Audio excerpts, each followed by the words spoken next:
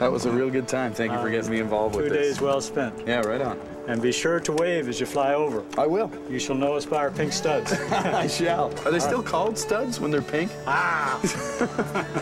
Coming to the lower ninth and the upper ninth ward in Louisiana was so laden with politics and expectation. We all watched what happened down here.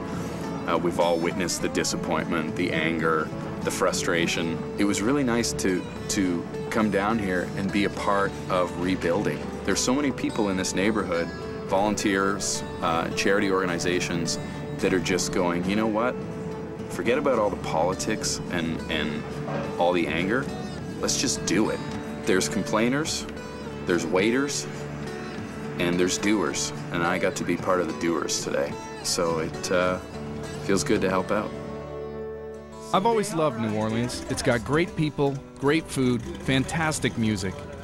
I played a small part in the rebuilding of this devastated city. There's still a long way to go to bring it back to its former glory. Luckily, even though this place is full of despair, loss, and sadness, it's tempered with courage, resilience, and hope. It's going to take a lot more than just my help to make a difference here. There's still a long way to go. that's what I need.